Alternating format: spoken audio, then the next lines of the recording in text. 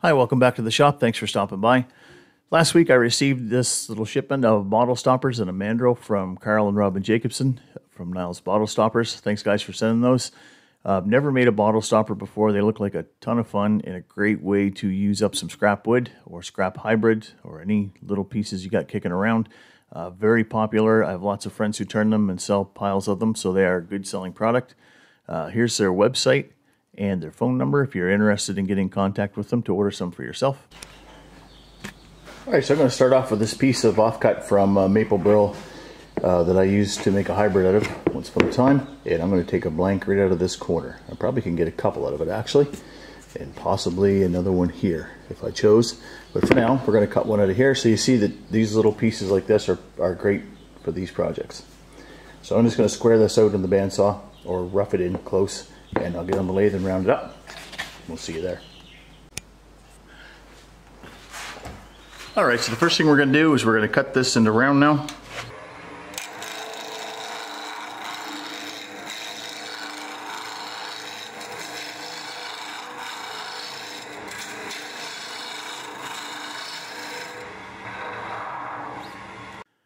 I'm going to put a tenon on the tailstock into this, and uh, you don't need to do this in a four jaw chuck. I'm going to today.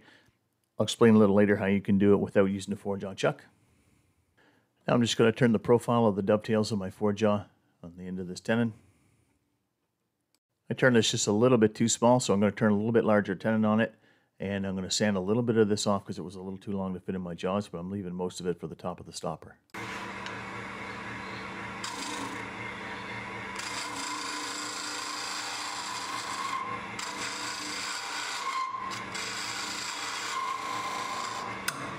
Okay, the next thing we're going to do is we're going to flatten the center of this with a Forstner bit. And all you need to have is a Forstner bit that's bigger than the base of the stopper. This will sit up against the bottom of your turn piece. This and this are the same size, so that's how big you know how to turn it. And we're just going to cut a flat in this.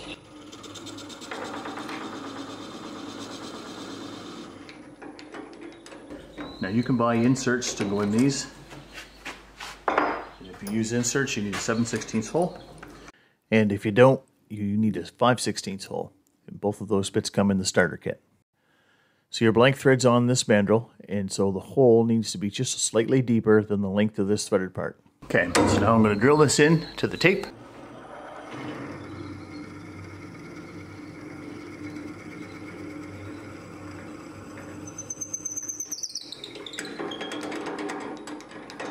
This has a notch out of it, which is made to help cut these threads.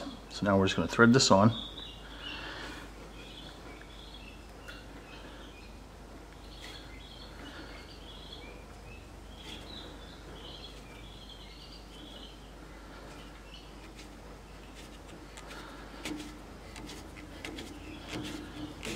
Back it out let it clean itself off a couple times during this process.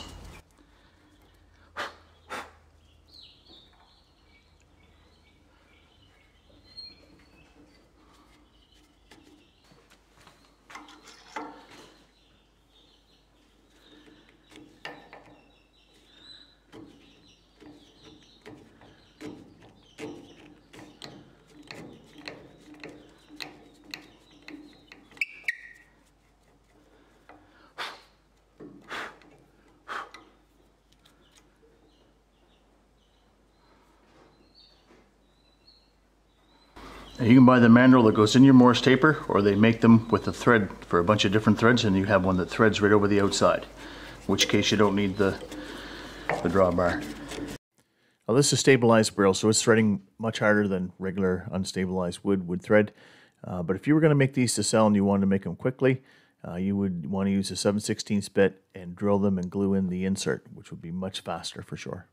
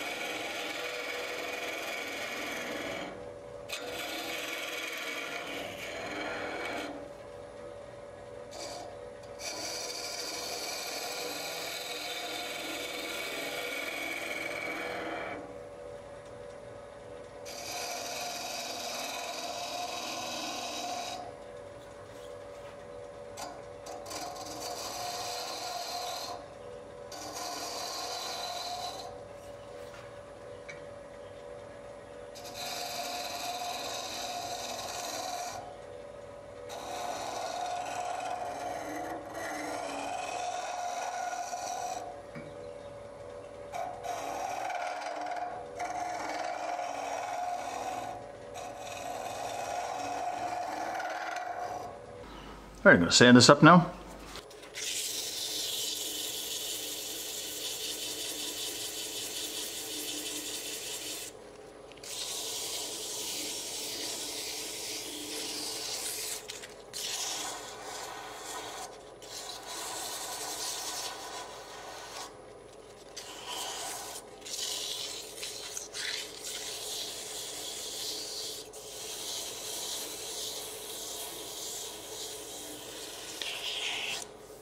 Okay, I'm gonna bring you back when I'm all finished here. Okay, now that we're all sanded up to 240, I'm gonna use some Yorkshire grit on it.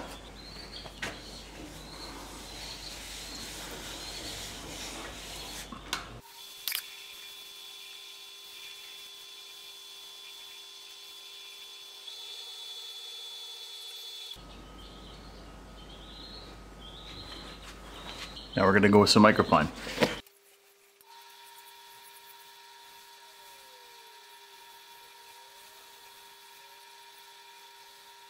Now if you don't have a mandrel for your lathe, you can cut the ends of your blank square, put them on a drill press, flatten it off, drill the hole in a drill press, and then thread it with your mandrel. So you really don't need a four jaw chuck, you really don't need a drill mandrel to do these.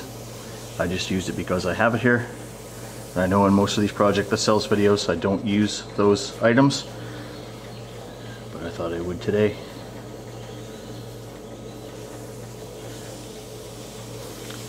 You can knock these things out really quickly. You get your blanks made up ahead of time, get them squared on the end and drilled so that all you have, or even pre, pre-thread them even if you like to, so that all you have to do is just put them on and crank them out and you can turn a pile of these in a short time. It's a very small turning. And we're gonna put on some Hut wax as a finish.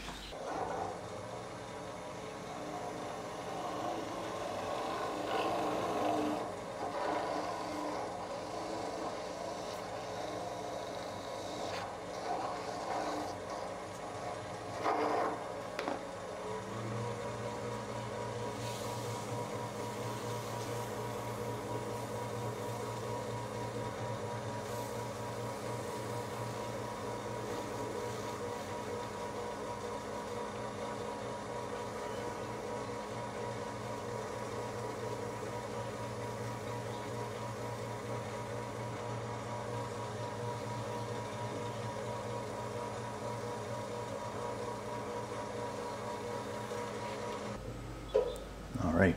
I really like Hut wax for these types of projects because it's it's really durable. It puts a nice nice coat on there. It doesn't fingerprint and it's very strong, very durable. So now we're going to unthread this.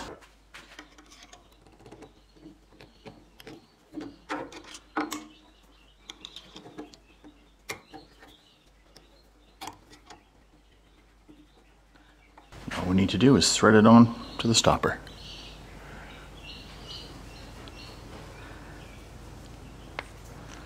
These are all stainless steel and they're very nice, very nice quality.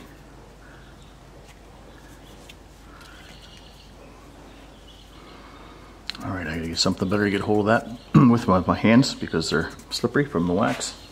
There you go. The first of what will probably be many. Nice little maple burl to stabilize. You don't need to do that, obviously. Doesn't need to be burl wood. It just can be anything you want. You can laminate them, do whatever you like. There's a ton of videos out on different uh, different styles and shapes and materials. And um, again, I'll leave. Uh, thanks again to Robin and, and uh, Carl for sending me the sending me the stoppers. And uh, again, I'll put the link to them in the video description. So if you're looking into get if you're looking into getting into some of these, give them a shout. and say they're great people to deal with. And uh, Carl has videos, and I'll put a link to that as well in the description so you can see how he makes them. Thanks for watching. We'll see you next time.